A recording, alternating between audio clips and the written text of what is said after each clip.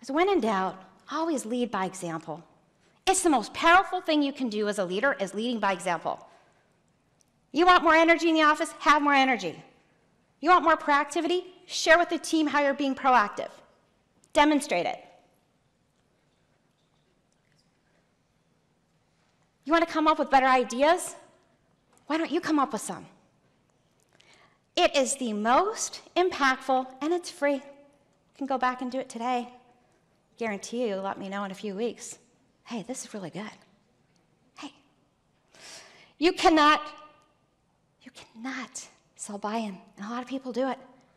Hey, I've got, so they have a half-baked idea. They go and they just pitch it. So this is what we're going to do. It's great, right? I'm your boss. And you're like, yeah, it's great, right? You like my idea? I mean, what do you think people are going to say? If you want buy in, you need to have a two way exchange. And you're the leader, and you're going to make tough decisions that are not going to be popular. They're going to be tough, and that's your job. And that's okay. But if you want buy in, it's got to be a two way exchange. And this is very basic, as most things in life, right? Want to lose weight? Exercise. Stop eating, whatever. You will only be as successful as you can effectively delegate, and that means trusting your team. Hiring great people and trusting your team. Letting them fail, letting them grow will allow you to fail and grow and work on your own professional development.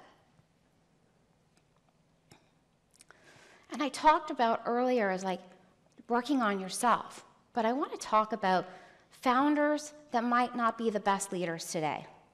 It's okay. You know, I, it, it's tough. Founders have a lot of stress, a lot of worry. I get it. But you know, at Creative Niche, we work with a lot of tech companies, we work with a lot of founders, and I just I have a soft spot for them. So I end up coaching them and chatting with them. And I can tell you, we've seen some really great things of people coming around. Improving their employer brand, like nobody wanted to work there. They made investments, they did the work, they fired a couple bad toxic leaders. They're leading by example. You can turn it around. It is never, never too late. And the last one I want to really land on was for me, I got these confused. I thought they were the same. I thought they were the same. But being respected as a leader is so much more important than being liked. Are you consistent? Are you showing up? Are you fair?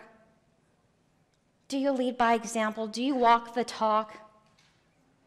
Do you acknowledge people? Are you thoughtful? That is the most important, is being respected, not feared, but respected by your team not just your boss, not just your investor, everyone in your company.